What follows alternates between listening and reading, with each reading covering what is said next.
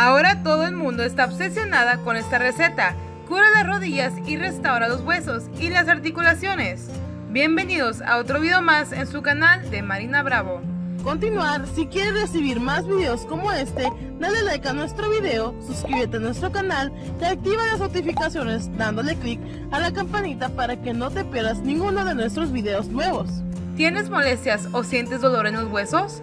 Lo que necesitas es preparar este remedio simple que le dará los mejores resultados. No deje de intentarlo, te encantará.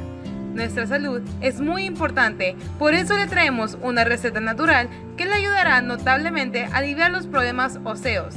Es ideal para reducir el dolor articular. Cuando comienzas a convertirlo en parte de tu vida, poco a poco notarás alivio en los huesos.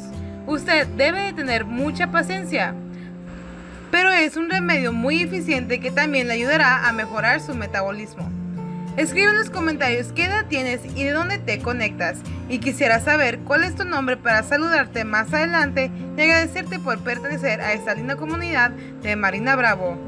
Con este remedio natural le aseguraremos que su cuerpo permanecerá sin incomodidad y las articulaciones funcionarán mejor. ¿Cómo se prepara esta receta? Ingredientes.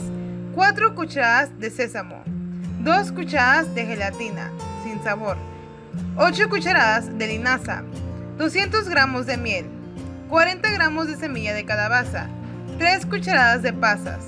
Pero antes de continuar, comparte este video con tus amigos y familiares para que también sepan esto.